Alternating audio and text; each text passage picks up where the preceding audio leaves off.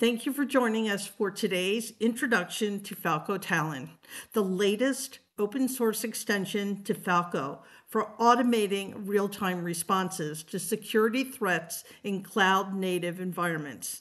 In this session with Nigel Douglas, we'll explain what Falco Talon is, the rationale behind its development, and how it empowers users to respond to threats using an API-driven approach. You'll learn how to integrate Talon into your security workflows to mitigate risks automatically and protect your Kubernetes environments. Whether you're new to Falco or looking to extend its capabilities, today's webinar is the perfect starting point for understanding Falco Talon. Nigel, I'll turn it over to you. Thanks again for joining today's lab. Um, we're just going to give a quick introduction as to what Falco is, um, how this relates to feeds, and how we can respond to threats using Falco. Um, so as of this year, as of about March, uh, Falco is now a graduate project um, of the CNCF. So, I mean, there was a, a rigorous process, right? They, they have a due, uh, due diligence process that Falco needs to meet when it's an incubation project of the CNCF. Um, there's a technical oversight committee who, you know, would ensure that we follow third party audits and stuff like that. Uh, so the project's evolved a lot. It, what it initially started off with was uh, monitoring system calls from the kernel. And when I say even when it started off, it was these um, these uh, kernel modules that we used to write. The project's evolved in many ways. We use eBPF as a very common way, the eBPF probe as a secure way of collecting these system calls. But then we also create a plugin architecture so that you can extend, you can build your own plugins, but you can stream uh, live events through to Falco and live events, right? They're not just system calls from the kernel. So we're talking about things like uh, events from uh, a cloud provider, right? Like um, AWS CloudTrail or platform logs from Google. Um, so these are these are really exciting opportunities to collect and correlate um, events against system calls that are actually coming from the host or container process. So what we're going to do in today's lab is we're going to um, show how to deploy a tool called Atomic Red. Uh, some people attending might be familiar what Atomic Red is, but uh, it's a popular open source project. What allows you to do is do threat simulation, but in line with the MITRE ATT&CK framework. So MITRE ATT&CK is a fairly well recognized industry framework for all of the tactics, techniques, and procedures associated with common uh, attacks in the wild. So if we were able to replicate those uh, TI numbers, those those threat um, actors, those specific behaviors uh, via Atomic Red, and see if we can detect it in Falco. We can then bolster or at least reflect on what the coverage looks like Falco out of the box. If there is cases where Falco doesn't detect the specific threat, then we build custom rules around it so we can detect that um, threat simulation. Ultimately, today's goal, we're going to talk around rule management, the the the issues that some people face, which might be manual process of testing, replicating rule configuration, and how tools like Falco CTL come along basically streamline the process of rule management. And then we'll close out the session by using Falco Talon. So Falco Talon is a dedicated response action for Falco when you have a Falco rule. When I say tailor-made, without writing any PHP or writing any Python or anything like that, you, you just use YAML. And in YAML, you say, here's a Falco rule tie it back to a specific actioner, and those actioners are defined within Talon. We'll come to all this later, but it's a very streamlined, simple process to configure. And it means when we get a detection Falco, something will happen straight away in milliseconds, less than a single second. So with that, I'm going to click start to start the lab. By now, most people should be able to access those links and be already at where I am right now in the lab, which is your, your virtual machine is spinning up. And if that's the case, when I click start, you will also be accessing this page. I'm just going to make that a little brighter for myself. And with that, we're just going to deploy Falco. So if I say kubectl get nodes dash o wide, you can see what happens is I have a single VM, right? My single node, my master node in my Kubernetes cluster. And it's an Ubuntu OS image, but in this case, I have a specific Google Cloud kernel version. So that's, you know, where my VM was spun up but it's using containerd runtime and it's on a specific one, right? It's it's K3S. So knowing that, what I'm going to do is deploy Falco. But in my deployment of Falco, I mentioned earlier the project's evolved. I'm using a modern eBPF probe. I just see that as being the, the safest, most I mean, appropriate way to uh, deploy Falco today. Um, I have some Falco Sidekick configurations, mainly around things like disabling a web user interface, so I don't need a backend for that. Um, I do have it configured so that it's got this arbitrary webhook uh, setup where basically I'm pointing to an endpoint. In this case, it's Falco Talon running on port 2803. So the uh, intention here is, to my point earlier, when you configure a Falco rule and I get a detection, I want the webhook integration for the Talon backend. We'll install it later, but it's configured in a way that's ready right now. So as soon as an action happens in Falco, webhook sent over to Talon, Talon takes the action from there. As far as collectors, you can see I've got a specific uh, D socket set up for K3S containerd socket. Now, what does that mean? I'm just trying to get at the point across that you can install Falco in a, a whole variety of different environments. I'm using Helm in this case to deploy on Kubernetes. You could absolutely in install Falco on different distributions of Linux. Um, you know, it could be vanilla Kubernetes, it could be uh, managed Kubernetes, you could be deploying it on a single non-Kubernetes environment, right? Like it could just be a, a Raspberry Pi. So again, we can configure sockets as well around that. So I've just deployed Falco. If I just say kubectl get pods dash a dash w, uh, we'll watch for changes. So you can see in this case, uh, the Falco pod's initialization state, we can see the Falco sidekick, you know, they go through container creating, running, and now Falco pod is gone for initializing, is now uh, running. So this is great. So Falco is being deployed. Um, if there's any concern around that, you can always just filter for running, um, but you can see that the pods are running as expected. So that was a pretty quick, straightforward deployment process. Now, once deployed, you can run the logs output, and that will show you that this deployment was successful. You, so you can see here, I deployed with no specific um, custom rule sets pointed to. You know, I'm only using the default uh, stable rule set for Falco. Uh, it validated the schema. Um, you can see here that uh, you know I haven't turned on any specific plugins, so I'm just it's just mentioning about system calls, nothing about uh, external cloud providers. Uh, everything looks good, right? It loaded the event source for system call. Um, it's using the modern eBPF probe. There really there's nothing to be concerned here. Now, this whole process of checking the logs for the specific container for Falco, running in the namespace Falco with the label of Falco, um, that's our way of actually also detecting uh, or seeing the detections that are coming from Falco because it's going through, um, you know, it's like, uh, yeah, it's just a log D output. So if I was to go here and run an arbitrary action, so in this case, I want to find credentials like IDS RSA, um, what I can do is run that command. And then if I run the same command again, which is to check the log output, you can see in real time we got that detection. And by proving that, you can see the timestamp. So it's saying on the host master, which we know was the name of the, you know, the master node in our case, the VM that it was running on. We see um, there was a grep action on private keys or password activity found. Now, the nice thing about Falco rules, and we'll come to all this in a second, in fact, we could probably do it now, is if we go to our rule explorer, and uh, I think it was credentials found. I think that was the rule that we're focusing on here. Um, find AWS credentials might not be this one. Uh, what we can always check is go into Falco rules. And if I go to credentials found, maybe I can just go to found. Uh, oh yeah, see here where we're saying about this. So the rule is search private keys or passwords. How this rule was being triggered in Falco is we're saying if there's a spawn process, and we can talk to what spawn process is in a second. In fact, you can just go here if you want to find that out. So you can go to spawn process is a macro. So a macro is a condition. So it's like a nested condition.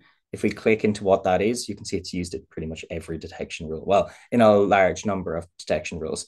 But what it is, it's a simple piece of um, system call logic. It's saying if the event type is listed as if execve or execveat, um, then we know that's what we define as a spawn process. So in this case, we're looking for if there's a spawn process and because we support Boolean logic, there are grep commands, right? So grep commands are also another spawned um, or another nested macro, but basically saying if we define what grep actions grep commands are, and we see and there is private key or password, and the process name involved find against IDS uh, RSA or any of the other equivalents, in the contained values, then it would trigger a detection saying get private key or password activity, and then it would populate, it would quite literally strip the metadata from the system call and then populate it inside these brackets so you get a detection. And of course, you can put in your own arbitrary tagging and priority on the event. So that's what you see in the output. So if we go back to our detection, that's what we got. You know, if I was to run that previous command again and then do it twice, you can see now I have two detections for that action. They're quite literally in real time because again, system calls are generated in real time. Every time something is done in user space, uh, uh, you know, system call uh, is generated within the Linux kernel itself. So right now we have a uh, two detections, and in those detections we have populated the context. It was all auto stripped out from it, so we can see, for instance, uh, context like which user performed the action to which directory. This is more relevant certainly when we're talking around file identity monitoring or things like if someone was trying to do something on a command line, then I want to know what command was run from where. So in this case, it was user bin find was the exec path. So I think this all makes sense. Uh, what we can do is proceed to move forward with the lab. Uh, at any point, of course, stop me. Feel free to ask questions in the chat. I, I do want to engage as well as much as possible. But if, if I'm not hearing any questions, it probably means that everything I'm demonstrating makes complete sense. So what we've done is we showed how to deploy Falco and we showed a detection of a Falco rule. So what I'm going to do is create a brand new network namespace in Kubernetes, and then I'm going to deploy the tool Atomic Red. Now we we made our own custom image for this. You can see here it's ISIF uh, Atomic Red and set the latest. Um, it's set as a privileged workload. Like this is really just to make Atomic Red, which is generally a Kubernetes or sorry, a Windows type uh, application and really port it over for Kubernetes. So in our case, if we just check for pods like we did earlier, uh, you can see it goes through container creating. If you give it a few more seconds, what we'll see is Atomic Red is running. And it, again, there's only one container, so it should be one of one ready. And we'll give that another maybe four seconds. There we go. So it took 24 seconds in total to deploy Atomic Red. Uh, so with that, we have it running we can absolutely move forward with the lab to the next uh, section. Now, um, I also backlink at the top of the page the uh, reference documentation for Atomic Red. I think that's really important because if you're not if you're looking at it for the first time, you might be wondering what even is Atomic Red. So if you click on this link, it'll take you to the GitHub page for the Red Canary project. So Red Canary is the company who produce or maintain the project Atomic Red. As you can see, there are a long list of these tactic uh, was it tactic techniques and procedures. Um, if we were to go to uh, just Google MITRE ATT&CK, you can see that it's basically a very large table of um, the, the tactics are everything from reconnaissance, uh, so early discovery, resource development, starting the attack, through to things like exfiltration impact, like actually taking damage on a system. Now you can see here, so you have tactics, the techniques are all of the things that happen within it and techniques have sub techniques. So again, the number of different actions that could be performed, you know, it's huge. Um, and this is, I think, we're just looking at enterprise Linux in this case. Um, so yeah, that's MITRE ATT&CK on a kind of a super high level, but I think it's important to visually understand what this is when we're tying it back to all of these specific TID numbers and what they all mean. So when you go into a TID number like T1070, um, 004 as the subtactic uh, 004 is the subtactic number. Um, that's because it's specifically file deletion on a host or something like that. Uh, because it's an uh, open source project, it's very easy just to go in and actually understand what are the commands that are being performed on every executed um, simulation. So you can see, for instance, it's going to run rmrf, it's going to delete something, and it obviously populates a file to delete. And then as part of the cleanup process, it removes the folder, and directory, whatever, where it created these files that needed to be shredded. Um, so yeah, we have it running because it's in Linux. Um, we've done kubectl exec into the workload. Um, you'll notice that the tool was never initially designed for Linux environments. So it's got this ugly uh, way of doing PowerShell once you're into a shell, which is a bit weird. But in this case, we just run PowerShell. You can see I'm running uh, PowerShell as root. Um, if I was to import all of those test scenarios, and we mentioned that there's a lot of different simulated tests we could perform. So I'm just going to import all of them. Takes just a few seconds because they're all just a list of commands. Um, then you can see the details of a specific test. So in our case, T1070.004 that we mentioned earlier about deleting a file on a host, you can use the flag show details.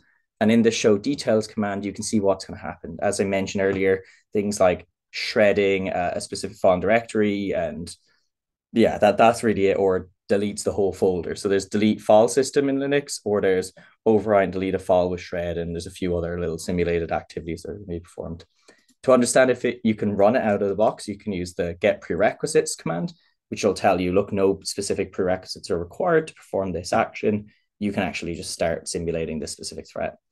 So if I was to remove those feature flags, then you can just run invoke atomic test with the specific TID with no feature flag, and it will perform the action. So if I hit enter, you could that this visually proves that Falco detects threats in real time.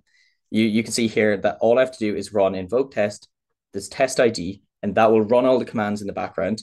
Notice how on the right side, so I've set up TMUX, a terminal multiplexer, so that the what's being run on the right side is a second terminal view. And in the second terminal view, I can see I'm kubectl logs, so I'm checking for logs, tailing right for the top of the list, so tail zero.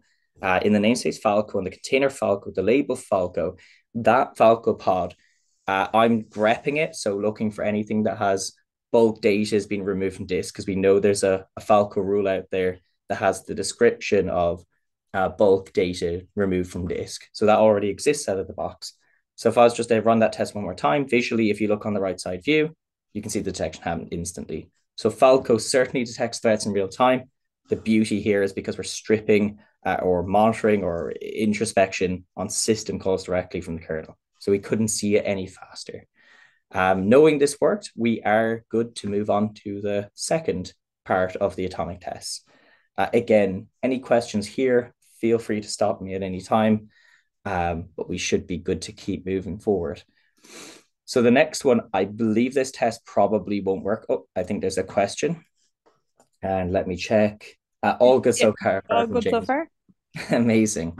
So what we'll do is that you can see here, everything's already kind of set up for you. So the next one's looking for specifically network tool launched in container.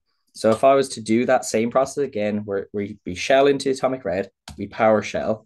Once we've run PowerShell, if we were to load our test one last time, and we check the details of this specific test because we know it's got a d- different TID number, which is T1611.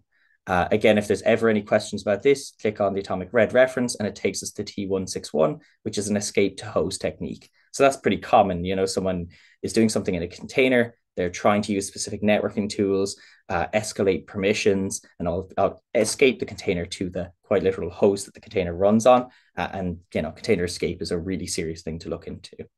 So we can see that it runs all these commands. Um, look, I don't know the first thing about this. What I, I know is that they've documented clearly that these are patterns, behaviors that attacker attackers going to try and perform. So what I want to do is check, well, again, like earlier, is there any specific prerequisites we should be knowing about? And you can see it tries to run the escaped host technique, but really nothing's getting detected on our side. You know, if I was to, um, oh, I didn't crash it. Okay, it's fine. But you can see it failed to connect anyway to this host was down. Um, the commands that are being run, if I can escape that. Yeah, can I escape that? I don't know what's happening here. Uh, oh yeah. Quit. Um, quit. Okay, command output if failed. Uh, that shouldn't happen. Let me check. I'll just refresh the page because that should still kill it. Um, okay. I don't know why that's happening, but I can come back to that in a second. So what should have happened here is, okay, I'm out of the pod. Yeah, I'm out of the pod, clear. Um, oh yeah, so I'm still in the PowerShell. Point was, I didn't get a detection here. And if I was to even just remove the grep and we were to check again for that container escape behavior with no specific filter, and I was to remove this get prerequisites and just have one, you can see, okay, I get a detection, right? But the detection was never the detection I wanted.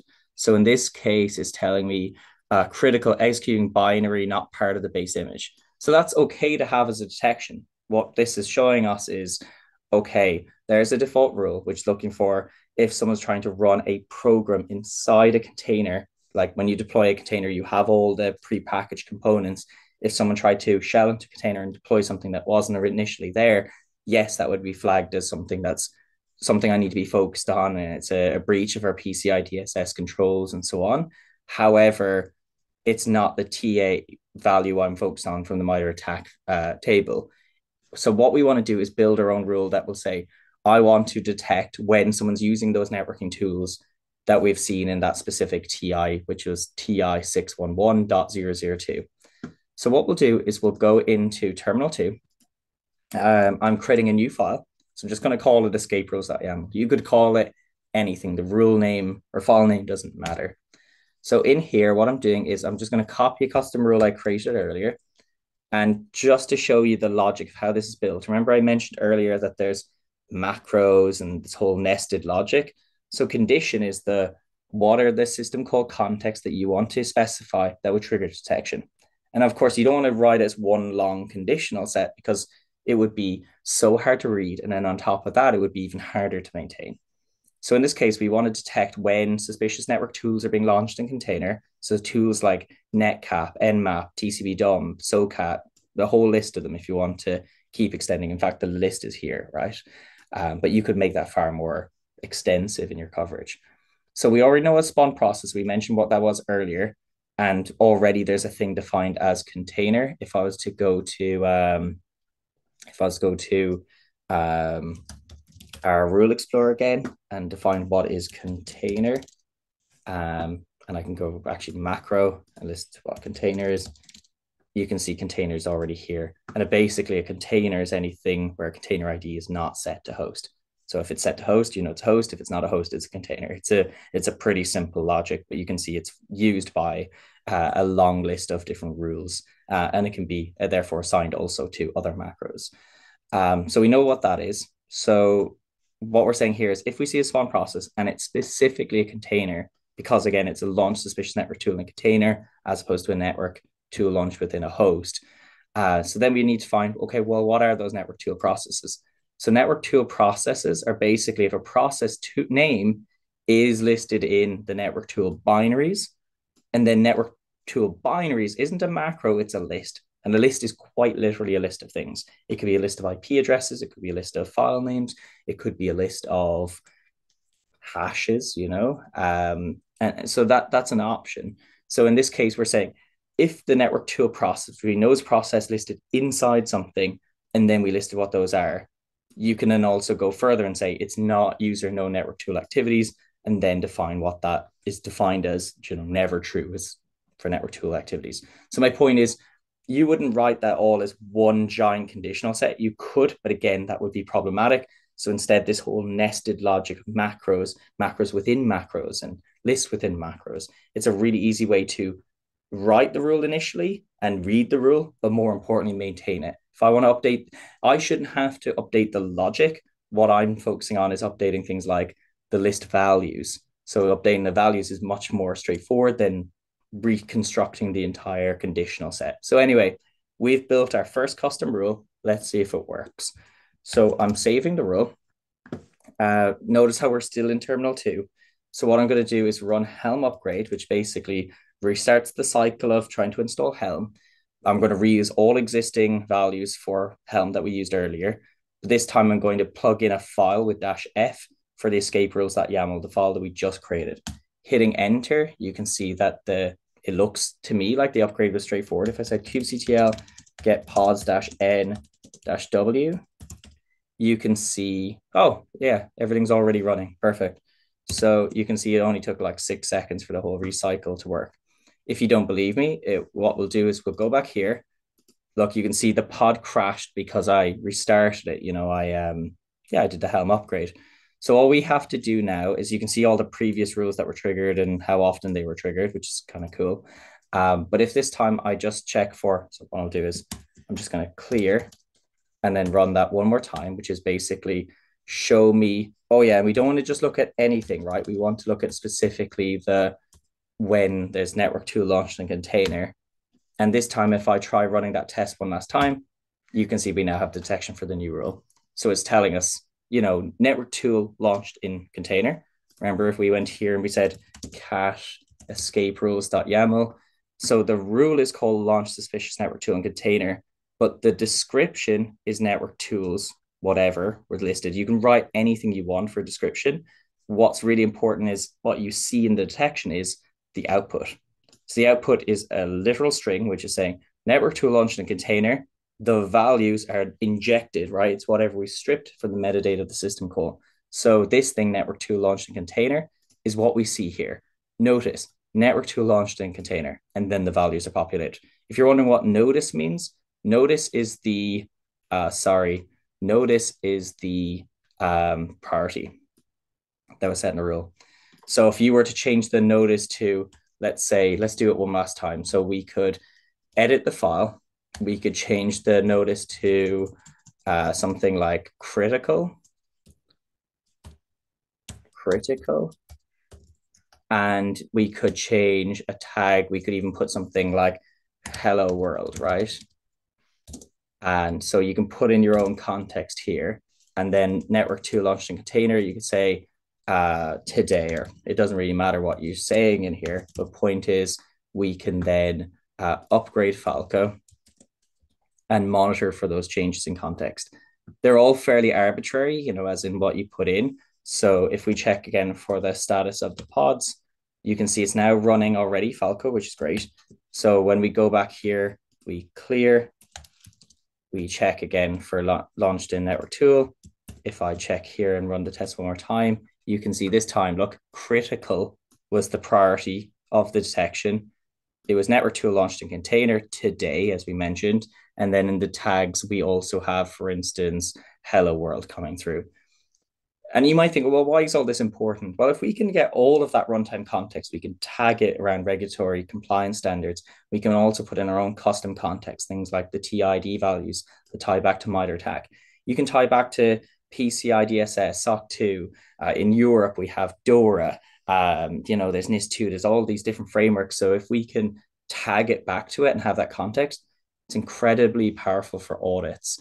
Um, but also because we say we're stripping all the metadata, we don't just see that a network tool was launched, but more importantly, we can see from which container, in which network namespace, by which pod. Um, you know, you can see exactly what commands were run. So in this case, it was netcat uh, on a specific port. Like you get all that supporting context, and it's all population detection. So matter so no matter how many times it's run, you'll always get new detection showing that it was being run. Um, and again, with the relevant context, and this is super important to respond to threats in real time, because we talk about this 555 framework, you know, the really five seconds is all it takes really to initially detect a threat, um, five minutes to responding to threats. If you're taking five days or five hours to to correlate context from a SIEM to better understand what happened in an incident, it, it's way too late. You need to be really responding, preferably in real time. Um, but you need to have a, you know a structure as how we're responding to these threats.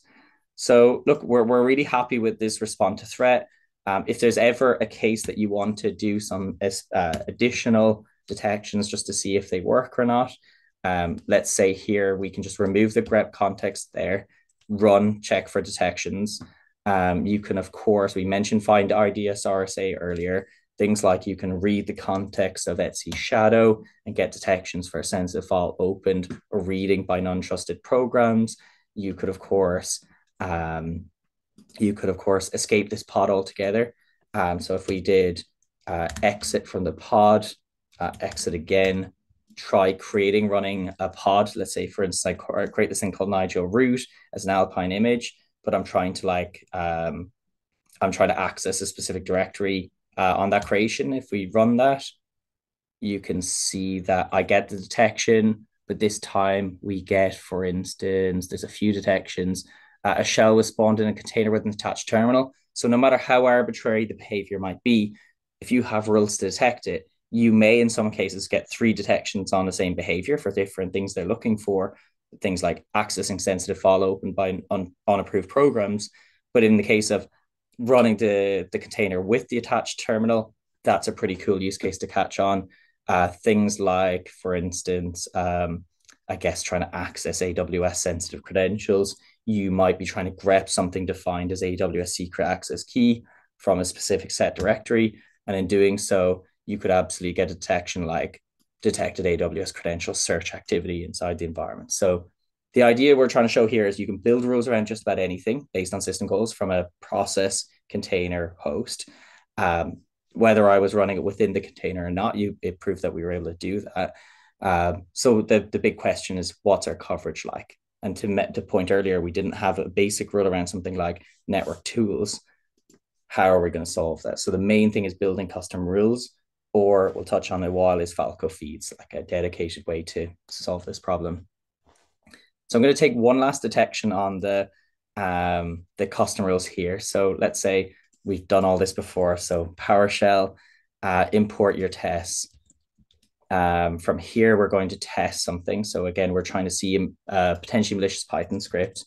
So nothing happens, right? So what was supposed to happen is whether it be Python 3 or Python or whatever, it's a really cool scenario that they're going to try to perform. So if someone ran a Python script in our command line, well, we would just see in the history that they ran in some command uh, or Python script. And obviously, a lot of these EDR tools would detect what that malicious code was. But if you were to base64 encode it, so basically it's like this, it's not readable to the human eye, it's encoded uh, formatted string.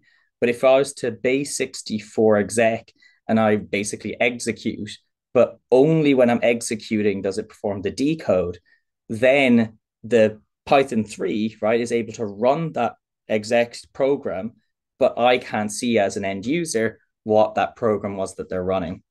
So what we want to do is build a detection rule. So we, we know this isn't going to work, right? We're not detecting out of the box. So if I go into terminal two, we create a brand new file, notice how it has brand new file name. You can do whatever way you want. You can build them all into one single file. You can build multiple different files. It really doesn't matter.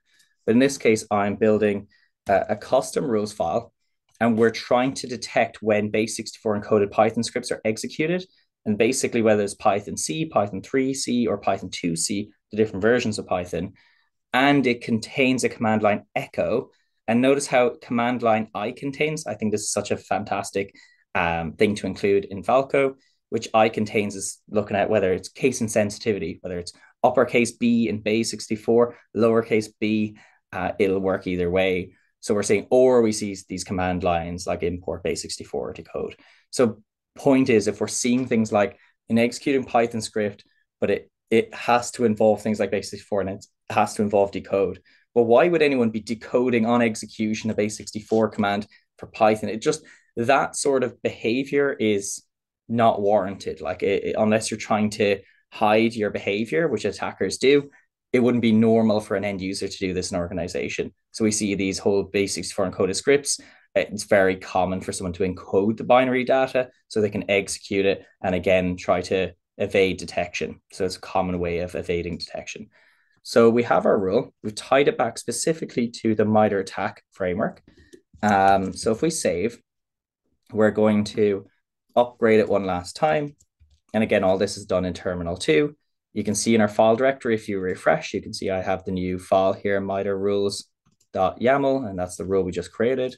So what we want to do is try that test one more time for Python scripts.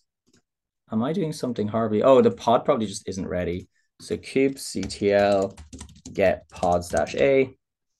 Okay, everything is running. So if we check here one more time, okay, perfect. So now it's able to tail. And this time, if we run the test, we get detection. But this is so powerful, right? Like we, we did a test there where someone's trying to execute base64 encoded uh, script. But in this case, what we're seeing here is um, we want to know, okay, what was the token that was executed? In the latest version of Falco, we can actually uh, put in a field for decode. So you can actually, whatever that encoded string is, we could actually decode it and show you this was exactly the file that was, uh, or script that was run, which is pretty damn cool. But also, I think it's more important to see who is the user doing it? So it was performed as a root operation in what namespace, in which container, or, or what process was it executed against, from which command line directory. You know, you want as much support and context to be able to say, okay, we know who did that, what they did, and when they did it, and what was the full command executed. So again, I don't know the full inner workings of all these um, MITRE ATT&CK TIDs. I could certainly read the documentation to understand it. But then when we see in the output of the Falco rule, not just that we detected it, but more importantly, we see it in real time. So no matter how many times I run the test, I'm seeing instant detections with all the context, all of the timestamps. It's fantastic. So look, we've shown the process of building rules. Now we want to understand how we're going to manage this better at scale. So what we've done with the Falco project is in historically, users could just use, um, you know, if they had issues with Falco, you know, build your own rules. But ultimately, you ended up having to use um, like Sysdig Secure if you want an enterprise solution that solved these problems. We're trying to make the process with Falco open source more streamlined because there's organizations that will continue to use it because it gives them all the flexibility they need. We just demonstrated that flexibility there a second ago. So we now have this tool, Falco CTL, and Falco CTL is a, an official CLI tool for Falco. And what it allows you to do is handle artifacts. So, for instance, uh, the rule set or a plugin can be defined as an OCI artifact. And then you can, for instance, manage the life cycle of it. For instance, if you didn't like rules, you could go back to a tagged version of the rules. So, you know, what we'll do showing here is like, for instance, if you use Falco CTL and you were pointing to a specific artifact and specific destination, you could pull it. You could, for instance, better understand, like if we check the index state of it, this is an index file. So an index file is this big long file where you define what are your plugins, what are the rule directories, and what context are they being used. And again, they're, you know, it's all of the supporting context of what you're going to turn on. So if I was to make, let's say, a, a local directory, and this works better if, well, this does work if you're on a uh, on a standalone VM. So again, Falco CTL can be used in Helm or it can be used in a standalone VM. But if we were using a standalone VM, you, what you could do is say, install an artifact like the CloudTrail rules. In this case, I think I downloaded the rules. Oh no, I, yeah, I already have the rules downloaded. So you can go through the process of downloading rules remotely like this, pointing to specifically the Falco security repository. What is the latest version? You can tail for the updates, like follow for updates, or you can say on a fixed version or time, I want to uh, install a specific version of the rules so that if you check the rules you're deploying, you can say, okay, I've took, taken from this registry remotely uh, this rules file and this the rules file. Or if I'm testing local rules file, I can see the list of my different artifacts, my different resources, uh, and say, okay, those rules did work or they're not stable. These ones do work. I can choose those ones. So Falco CTL streamlines that because what we were doing his, earlier was just building a bunch of random files, which fine initially, it's great for testing and proving that something works, but it doesn't scale later on. So what we want to do is, uh, you know, we point around here, like going to a different external uh, directory, pointing to rules, pulling them down, checking, for instance, what are the version control on those artifacts. But what we're going to do, just for the purpose of time sensitivity, because I know we've only got about 15 minutes left on the lab, is we can download a, a local rules file. So going back to what I did earlier, which is just random custom rule file from my own GitHub repo. And we're going to upgrade it, but we're, we're going to do an upgrade with Falco CTL. So I probably didn't mention this earlier, but uh, we've only been using stable rules that we can rely on. But Falco actually comes with a whole bunch of different community rules. So if you were to look up Falco, uh, I guess it's the maturity matrix is what it's called. But if we hit enter on that, you can see there's the whole process of adopting rules in production. That rules go through a thing called the rules maturity matrix. Because again, we graduated from CNCF, and as part of it, to prove the project is, you know, going in the right direction, we've uh, segregated our rules into different groupings. So old rules that no longer apply that should be removed are deprecated in favor of new rules that are stable. But then initially project rules are donated in sandbox. Once promoted, they go into an incubation stage where they're tested to prove that they're stable enough to go into the stable rule set. So there are all these rules. And if we were to go into the rule explorer, you can see that you can easily filter for the stable rules, incubating rules, and I'll actually focus purely on the rules. So stable rules, incubation rules, sandbox, and deprecation of the rules. You know, um, I don't know if they even show any. Yeah, maybe all the deprecated assets are removed, but point is that is the maturity matrix at heart. So if I was to, for instance, upgrade Falco, I'm using Falco CTL to say, Remember I mentioned these whole idea of artifacts? So I can say, look, I want to install, but also follow for updates on the stable rules, the incubating rules, and the sandbox rules. I don't need the deprecated rules. I think we mentioned there's nothing really in there at the moment. And I'm also plugging in an additionally a custom rules file I have my own. So imagine you have rules that you're managing in different artifacts and different destinations. You can certainly set up the configuration with Falco CTL in ways to install from those remote directories. And you can even deploy from a install from a local test file like custom rules.yaml. So there's different ways to use Falco CTL to really manage the life cycle of rules. Um, so if we were to go here and oh yeah, and the other thing is in a second, we're going to test out Falco Talon, which is now in the Falco security project and it's already on version, oh yeah, sorry, version 1.1. So it's brand new, but it allows you to respond to threats in Falco. But we did the upgrade of Falco. So if I said um, kubectl get pods dash a, cool, everything's upgraded successfully. So what I'll do now is if we click on next, and again, anyone stop me if there's any questions, but what I want to do is make sure that everyone gets a chance to respond to threats appropriately in real time using Falco uh, within the time we have. So this is where it gets uh, a bit messy. So we've got a kubectl events view, a logs view, we're tailing for pod status, there's detections for Falco, uh, network policies, the whole bunch of things going to go on. Uh, and if you need access to the Falco Talon documentation, we now have that, and that's also linked within the lab. So what I'm going to do is I'm building a local version of Falco Talon so you can see I'm in the local Falco Talon directory. It comes with some rules. So like you can see it's got a rules file and all that. So what I'm going to do is delete the existing rule and then download my own rules. So my rules are coming from my own personal GitHub account. And we can talk about those in a second. Or in fact, we can do that probably now if you want. So if I go cat rules.yaml, uh, rules.yaml, you can see the logic I mentioned earlier, which was things like um, you know, there's a Falco rule called detect outbound connections to common miner pools and ports. If that happens, I'm setting up a matched action of detect miner pools and ports. But basically, that uh, Talon rule, I'm defining the action to disable outbound connections. In case you're wondering what disable outbound connections is, that is here, disable outbound connections, which basically takes the action to talk to Kubernetes API, specifically the API of network policy, and block all egress, but only allow specific IP CIDR ranges. So that's an option as well there. Uh, we can also do actions like terminating workloads, or for instance, you might want to, um, well, we can go through the whole list of them in a second. But I've downloaded my rules file. What I want to do is just upgrade to prove that we can install Falco Talon with the new rules file. So I've done that. If we check for status of pods that have Talon in them, you can see they go through container creating, and after a few seconds, they're already running. So we'll give it one more second to us one of one running, but um, the whole process of deploying Falco Talon is pretty streamlined. Cool. So there we are. So what we're going to do is test to see if any of this works. We don't need to uninstall, I just left that there. So in the events view, what we're going to do is run kubectl get events, and we're checking for the default network namespace. There's nothing really interesting here. Oh, I had one pod, um, kubectl get pods.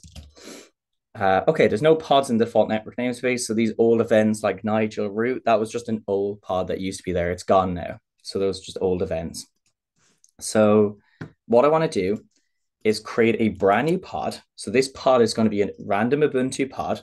So when we check pod status, you can see it's container creating and now it's running. So in that process of checking, was it running? You can see in the events view, you can see the container pod Ubuntu was created and now it's running. So we're checking quite literally in real time for any creation of a pod or changes to a pod. So in this case, Ubuntu was successfully scaled up and created, and it only took a few seconds, like three seconds in total, for that to to run. So what we want to do now is terminal shell into container. But before we do that, if we go to cat rules, you can see like there's a heavy emphasis on uh, these response actions. So there's a Falco rule called terminal shell and container. If we go to rules and we talk about terminal shell, this is already a default rule. So this space saying if this response process and this container uh, and there's the shell processes run within it, then we know that, for instance, it's a terminal shell container. So that's already a defined rule. So what we'll do is we will terminal shell into the container. That should trigger a Falco Talon action, and the Talon action is to label the pod as suspicious. So if we were to check what that means, basically label pod as suspicious, talks to the Kubernetes API of label, which defines these parameters, which gives it a label as suspicious equals true. So it's changed that string. So if we were to go to our labels, yeah, see the way I've got like, there's already labels on the pod. So I'm checking for all pods in that namespace. And you can see there's already app equals Ubuntu. That's all there is. The other is just algorithmically assigned. So in this case, if I was to run kubectl exec, so if I say kubectl get pods, first of all, you can see there's one pod and you said dash dash show dash labels, you can see that it already just has that Ubuntu pod label.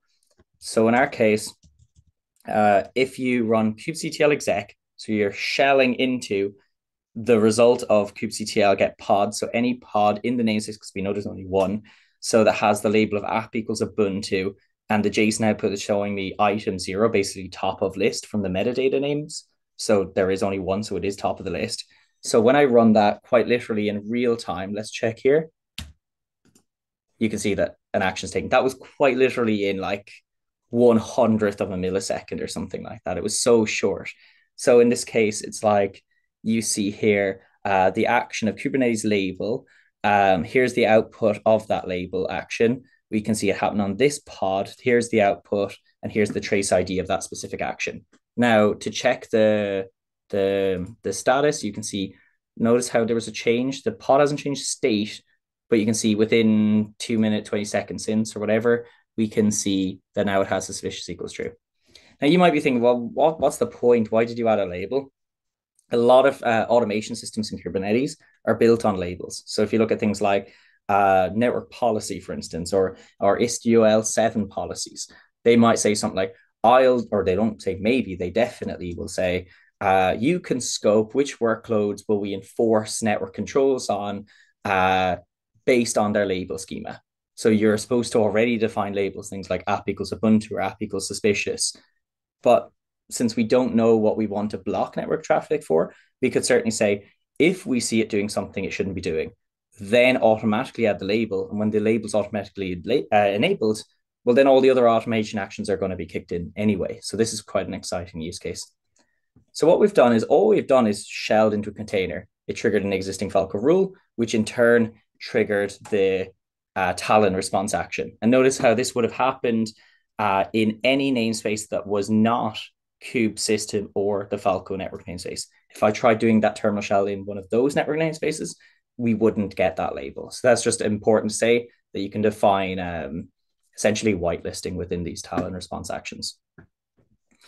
So with that, what I'm going to do is I'm logging, checking for log output. So if we go to the events view, uh, I guess we already have that. Uh, which one was this? Just checking top of logs. Um, I guess we can do that in the logs view. and the logs view is basically just showing us the logs from Falco Talon itself. So we can see that we already have a detection for a terminal shell action. And of course, it was a successful action. So we can see a status success. So what I want to do is we can check the pods. I think we already have that for the labels. So what we want to do now is run a crypto miner. So I'm going to go back into the pod that we've already terminal shell into. We run curl to download XMRig, a popular crypto miner from its official GitHub repo. I'm going to run tarball to unzip the package. Then we cd into the XMRig package. And in here, you can see I have the XMRig binary. Now, we already have some cool default rules in Falco. So if we were to go back here and you say um, something like pool, you can see detecting outbound connections to miner pools, or there's detection rules for running specific mining binary, or things like Stratum protocol, right? So if there's a mining binary running a, a known protocol like Stratum TCP or Stratum SSL, so with that in mind, we want to trigger those rules. And as I mentioned, those were part of the sandbox rule. So we only enabled those with Falco CTL, but the whole process was pretty streamlined. So what I want to do from here is, um, yeah, so we don't need to check the logs here. What we want to do is check that in the Falco detections. So this is basically telling us, oh yeah, well, I got a lot of stuff there. So I'll remove the MITRE because I was saying if it has MITRE and XMRig, in this case, I only want to see XMRig because we've never run XMRig before. So in this case, what I want to do is say, uh, with a timeout, the timeout wasn't that necessary, but we're basically saying run XMRig. We're going to talk to a mining pool like XMR US East 1. This would trigger the mining pool detection. So if I hit enter, then when we go back to here, you can see now we have the detection telling us um, that the crypto mining operation was run. But if we check the events, you can see that the yeah look the network policy was enforced. So we know that happened. If I check network policy and say kubectl get network policies, you can see look it was created 23 seconds ago and it happened specifically to spot. And you might be wondering what what is even happening in this case. So if we were to go to uh, Talon and we go into its docs and we look up the network policy, we can see that there's already a response action to enforce network policy. You can, of course, say what it won't apply to. But in this case, a pod in a specific namespace where we saw a suspicious network connection, then, of course, in this case, we create an existing uh, action, which is network policy.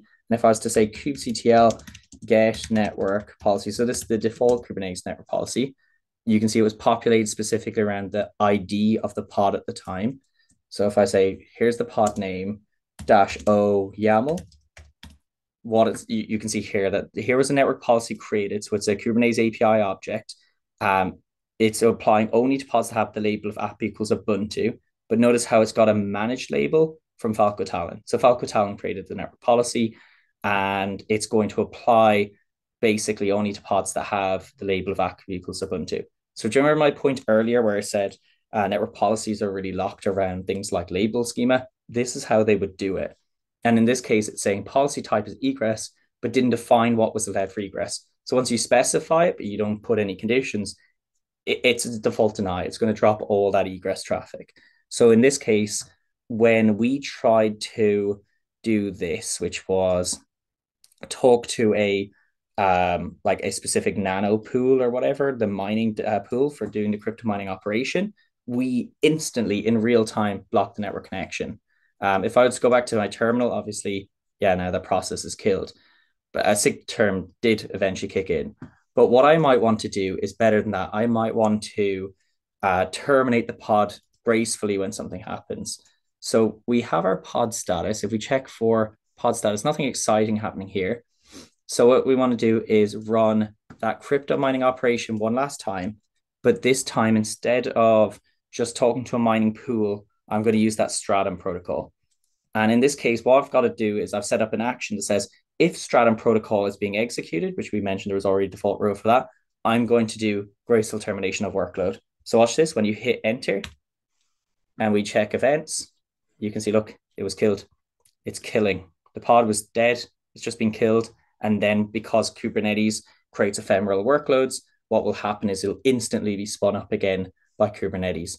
But this time, when it was killed, like if we go here and check it one last time, you can see that the pod was killed. Um, it reloads the cycle, but there, there's no issue there. Like it was successfully. Um, and then what what killed it? Because you might say, well, the pod was terminated, but what exactly? Why was it terminated? Well, because there was a detecting crypto miners using the Stratum protocol. So if they try using Stratum protocol, which in my opinion isn't a false positive, it's quite literally for that action, and we know it's coming from a miner within a container, which is crypto mining, then I want to say terminate it because I know if it's terminated, the pod will spin up again because it's ephemeral, but this time without the crypto mining binary. So we've we've already shown here how we could labelize workloads, enforce network policy, and in this case, terminate workloads in response to detections in Falco. And we did all this within within an hour. You know, we we've built custom rules, we've We've shown lifecycle rule management. We've shown how we can respond to threats. And with Falco feeds, and I'll just touch on that really quickly. So if we went to sysdig.com uh, forward slash open source slash Falco feeds, the idea here is if you just want managed rule set, right? Instead of curating those rules yourself, instead of trying to tie all the loose ends together and you just had a, a complex list of rules that came from a, a, threat research team, and you could just use Falco CTL and pull those rules down. That's now what we've offered as of the last three weeks, I guess. Is we have now Falco feeds, and they are like continuously updated by our security researchers. So whatever intelligence you have in Sysdig Secure now is available for Falco, and by having in Falco, you can just plug into the tools you you like, like Falco Sidekick and Falco Talon. So now you can respond to threats instantly uh, uh, based on that. So I know I, sp- spoke a lot. I hope this lab was really rel- interesting. Um, I see James. Yeah, you said it was a great lab, a great workshop. Thank you so much. Thank you.